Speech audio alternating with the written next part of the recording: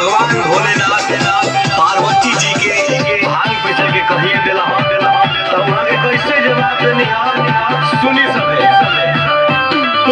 दिन भर चिलम जराइला बैठल बैठल आडर फरमाइला दिन भर चिलम जराइला बैठल बैठल